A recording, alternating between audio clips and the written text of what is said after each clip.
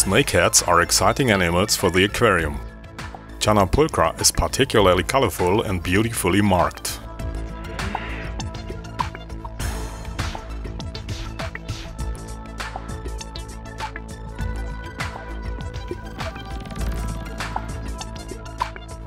This species features a quiet, friendly nature like all channa. It reaches a length of 30 centimeters and needs a correspondingly large tank.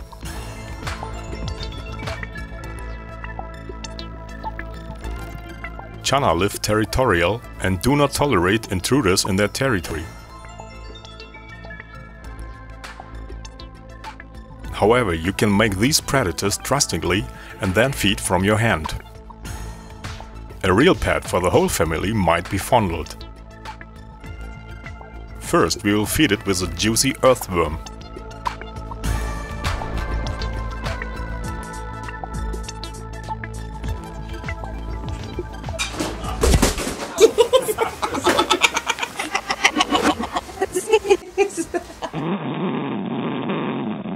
Okay, let's forget the big male.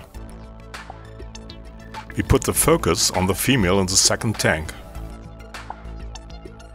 It is slightly smaller than the male and likes to be petted, hopefully.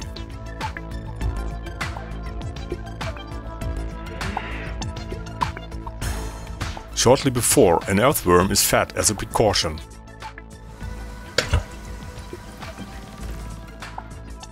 With a full stomach, fondling should be possible. Now I can try it.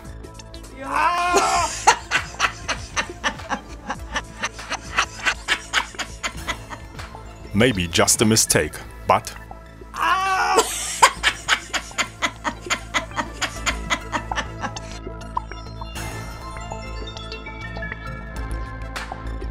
we feed more worms.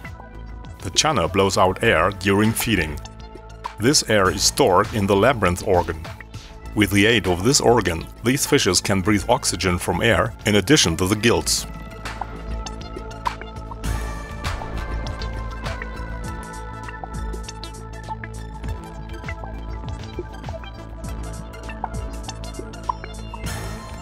Finally, after the abundant feeding, the channa lady has no more interest in my fingers.